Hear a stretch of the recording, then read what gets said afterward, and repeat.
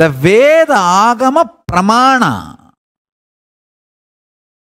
Understand? Pramana means authority. What is the truth? After thorough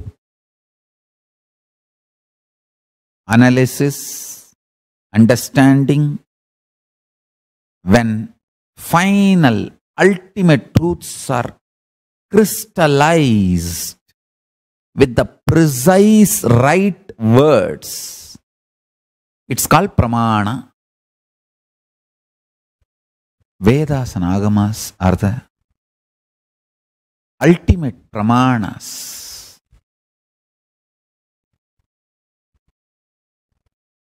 It is like cosmos introduces itself. Understand? When you understand cosmos introducing itself consciously, suddenly you will see all the cosmic principles become your lifestyle automatically. You will never eat non veg. It's not that have a temptation about that KFC chicken and you will control yourself.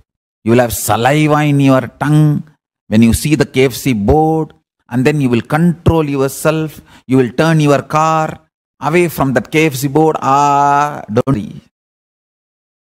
When you understand cosmos introducing itself, you will just know life is a life is a life is a life.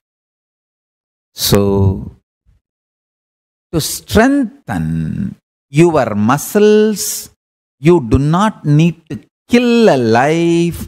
If you just kill something which has only muscle memory, which does not have biomemory, or a living superconscious frequency.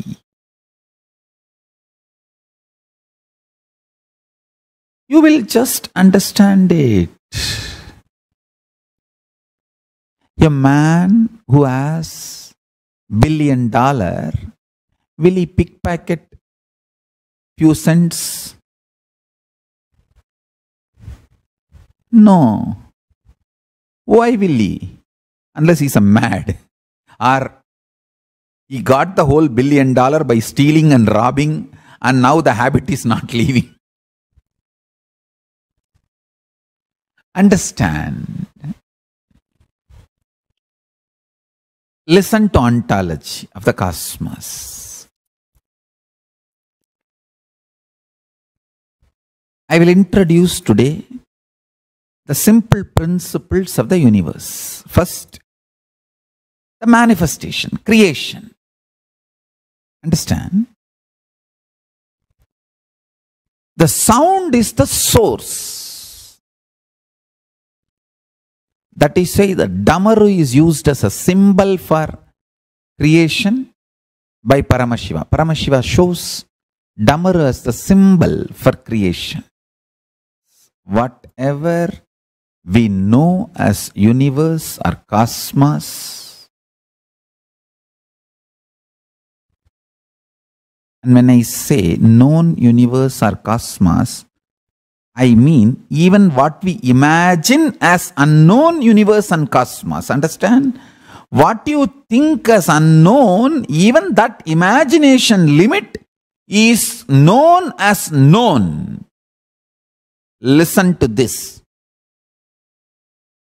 All you think, visualize, imagine, perceive, grasp, cognize, even as antimatter is a matter, even as unknown of the universe is known to you, known to the humanity. So, all known and everything you think is unknown. Whatever you think exists but unknown, even that is only under the category of known. So, the known, everything known, and everything you think as unknown.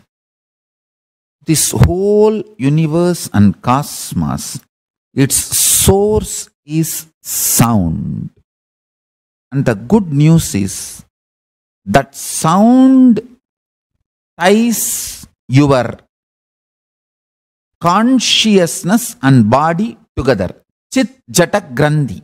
Like how the DNA, the core components of DNA is kept together by hydrophobic material.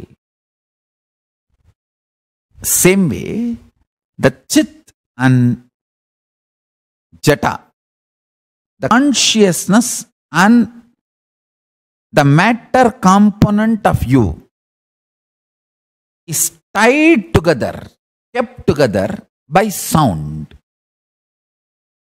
Understand? That is why the words you think and words you cognize and the words speak matters. Even if you don't understand, go on listening to the satsang for one year, you will become enlightened. Because the words I put inside you will get into you and start working inside your deep dream state, deep sleep state, and core consciousness of you. Understand one thing all of you, all of you who have dreams, have sleeping disorder. No dream is the absolute healthy conscious sleep. The words I utter will first go and heal your dream state and then it will penetrate into your deep sleep state and this is the most important thing it's not that you need to become dreamless, only then you will get enlightened. You will get enlightened and then the dreamless state will happen in you. So these words will go and sit and start sinking in your dream and get into your deep sleep state and that Paramashanta absolute lightness will start manifesting in you. That is why sometimes, even if you don't understand Vedic mantras, don't worry, just listen to the chanting. Just listen to the chanting.